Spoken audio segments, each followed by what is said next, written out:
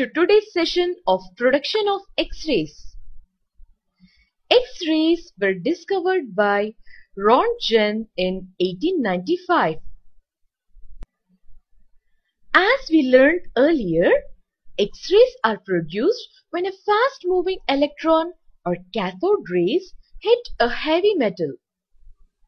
Let us learn more about how X-rays are produced. How X-rays are produced. 1.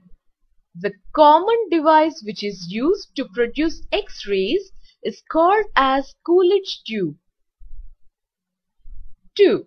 Coolidge tube is made up of glass bulb. 3. The Coolidge tube is connected with two electrodes called as cathode C in the form of filament and anode in the form of target metal T. 4.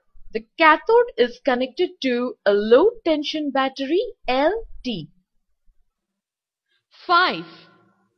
Two electromagnetic field plates E1 and E2 are arranged on either side of the cathode which controls the acceleration of cathode rays emitted by filament C. 6. When a voltage is produced across the electrodes, the cathode rays are emitted and they hit the target T which is made up of molybdenum etc.